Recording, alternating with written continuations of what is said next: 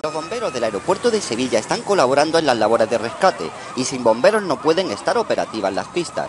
Se espera que en las próximas horas se reanuden los vuelos desde la capital andaluza, que por el momento siguen desviados hacia Jerez y Málaga. El avión cayó a la una de esta tarde en un campo a dos kilómetros de la cabecera de la pista, tras no lograr elevar el vuelo mientras intentaba despegar. En el aparato iban pilotos de Airbus y también pilotos turcos, ya que el A400M siniestrado estaba realizando sus últimos vuelos de prueba antes de ser entregado a la Fuerza Aérea de Turquía. Un buen número de testigos presenciaron en directo el accidente, ya que se ha producido en una zona donde hay salas de celebraciones y donde fotógrafos aficionados suelen ir los fines de semana a recoger imágenes de aviones.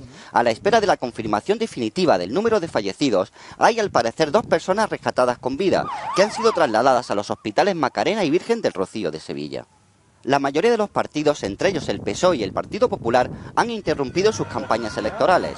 Rajoy suspendía un mitin en Tenerife y mostraba sus condolencias, mientras que la presidenta de la Junta, Susana Díaz, se ha incorporado a su despacho y ofrecía la colaboración del Ejecutivo andaluz.